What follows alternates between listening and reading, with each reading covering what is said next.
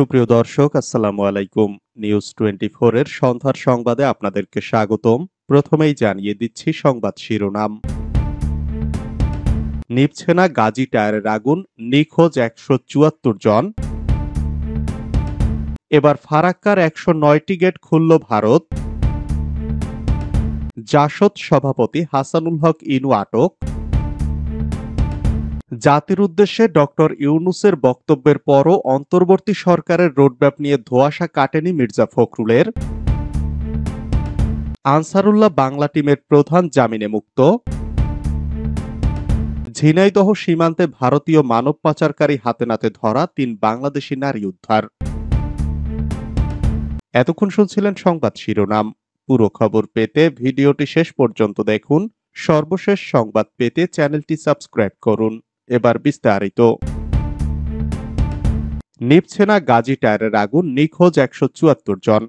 নারায়ণগঞ্জের রূপগঞ্জ উপজেলার রূপসীতে গাজী গ্রুপের টায়ার তৈরির কারখানায় দুর্বৃত্তদের দেওয়া আগুনে অন্তত একশো চুয়াত্তর জন নিখোঁজ রয়েছেন বলে দাবি করেছেন পরিবারের সদস্যরা। সোমবার বিকাল তিনটা পর্যন্ত একশো চুয়াত্তর জন নিখোঁজের তালিকা করা হয়েছে বলে জানিয়েছেন ফায়ার সার্ভিস অ্যান্ড সিভিল ডিফেন্সের পরিচালক লেফটেন্যান্ট কর্নেল রেজাউল করিম। তিনি বলেন, স্বজনরা যারা দাবি করছেন যে তাদের পরিবারের সদস্যরা নিখোঁজ রয়েছেন, যারা গতরাতে লুটপাটের সময় এই কারখানায় এসেছিলেন, আমরা তাদের একটি খসড়া তালিকা করেছি। এ মুহূর্তে তা যাচাই বাছাইয়ের কোনো সুযোগ নেই। স্বজনরা যারা দাবি করছেন তাদের নাম ঠিকানা লিখে রাখছি। বিকাল তিনটা পর্যন্ত এই তালিকায় একশো চুয়াত্তর জনের নাম লেখা হয়েছে বলে জানান তিনি, তবে তারা কেউ কারখানার শ্রমিক নন বলে উল্লেখ করেন তিনি। এদিকে ষোলো ঘণ্টার বেশি পেরিয়ে গেলেও গাজী টায়ার কারখানার আগুন নিয়ন্ত্রণে আসেনি। সোমবার দুপুর পর্যন্ত নারায়ণগঞ্জের রূপগঞ্জ উপজেলার রূপসী খাদুন এলাকায় আগুন নেভাতে ফায়ার সার্ভিসের বারোটি ইউনিট চেষ্টা চালাচ্ছে। গত পঁচিশ আগস্ট রাত দশটায় গাজী টায়ার কারখানার ছয়তলা ভবনের নিচতলায় এই আগুন লাগার ঘটনা ঘটে। এরপর থেকে শত শত মানুষ এসে সেখানে জড়ো হন। খবর পেয়ে দশটা পঁয়ত্রিশ মিনিটে ফায়ার সার্ভিসের কর্মীরা এসে আগুন নিয়ন্ত্রণ শুরু করেন। এবার ফারাক্কার একশো নয়টি গেট খুলল ভারত। ভারতের বিহার ও ঝাড়খণ্ডে বন্যার জেরে ফারাক্কা ব্যারেজের একশো নয়টি গেট খুলে দিয়েছে ভারত।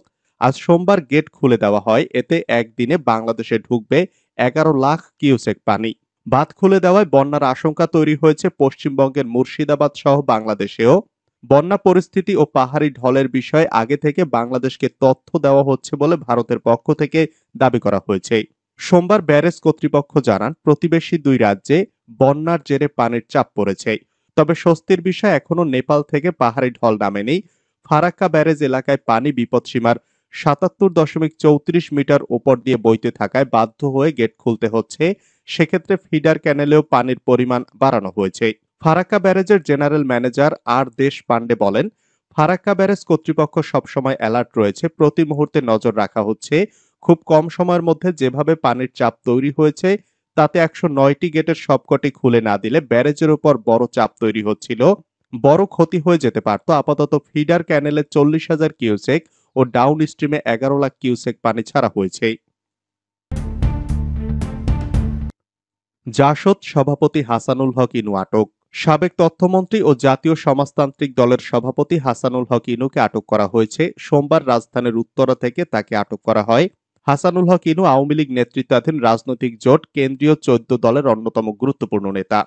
এর আগে গত বাইশ আগস্ট কেন্দ্রীয় চোদ্দ দলের আর এক গুরুত্বপূর্ণ নেতা বাংলাদেশের ওয়ার্কার্স পার্টির সভাপতি রাশেদ খান মেননও গ্রেফতার হন।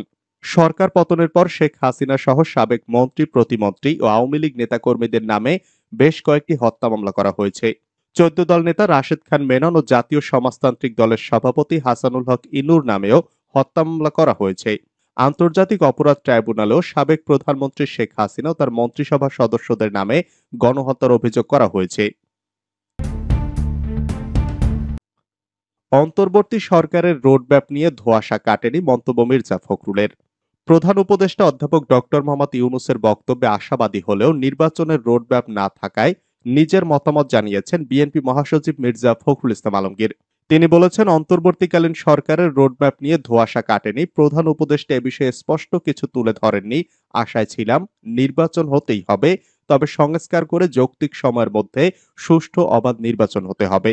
সোমবার জাতীয় প্রেস ক্লাবে জাতীয় পার্টি একাংশের চেয়ারম্যান কাজী জাফর আহমেদের নবম মৃত্যুবার্ষিকী উপলক্ষে আয়োজিত স্মরণ সভায় তিনি এসব কথা বলেন। কবে নির্বাচন হবে এটা রাজনৈতিক সিদ্ধান্ত, প্রধান উপদেষ্টার এই বক্তব্য উল্লেখ করে মির্জা ফখরুল বলেন, উনি সঠিক বলেছেন। এটা অবশ্যই রাজনৈতিক সিদ্ধান্ত। এই রাজনৈতিক সিদ্ধান্ত নেওয়ার জন্য তো রাজনৈতিক নেতা, রাজনৈতিক দল, রাজনৈতিক ব্যক্তিদের সঙ্গে আলোচনা করতে হবে। আমি আশা করব আমাদের প্রধান উপদেষ্টা খুব দ্রুত সেই প্রক্রিয়াটির দিকে যাবেন। তিনি রাজনৈতিক দলগুলোর সঙ্গে কথা বলবেন।